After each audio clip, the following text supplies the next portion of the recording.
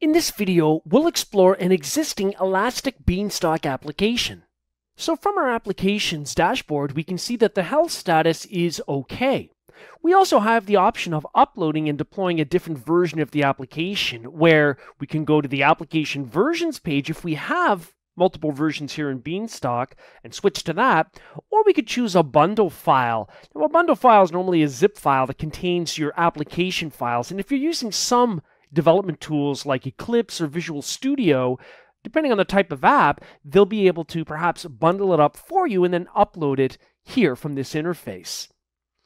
Now, if we were to click up here in the breadcrumb trail with our links at the top, right on the name of our application, TestOp1EB, we get some details about our application. And what we're looking at here is one environment for the application. And remember that a, a Beanstalk application could consist of multiple environments, which essentially are different application versions. Now, when we go to our application versions, there we'll see our current application in our first environment. Now, if we go back to environments on the left and then click on the, our application link, that gets us back to the page we were in a moment ago. And down below, we can see some events related to our application.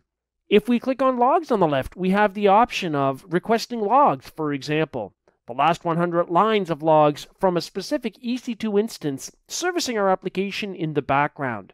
And we have a download link so that we can work with that. So when I click it, I can see in this case the HTTPD error log for my web server running in my Amazon Linux instance, and I get some other details from other log files as well. We also have the option of going to health and viewing a couple of, well, in this case, there's only one instance running in the background, but if we have multiple instances, we can see some details like the status.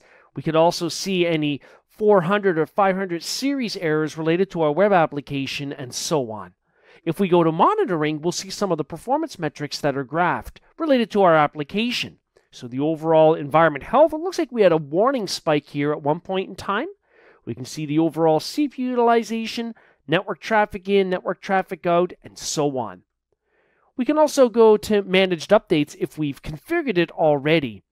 And if we go to events, we'll get a list of some of the event items which really relate to activity to our Beanstalk application. So we can see that logs were pulled from EC2 instances and that the environment was initially starting. And of course, everything is date and time stamped.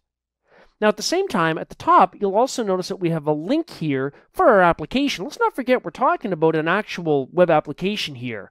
So, depending on our selection when we deployed it, will determine exactly what the page will look like. And certainly, that also means if we're not using a sample app, if we're perhaps using an app of our own and we've uploaded changes, then that's what the page will show. So let's just click on the link to open up our application page. We just have the standard default sample page here for PHP. Our application is now running up in AWS Elastic Beanstalk.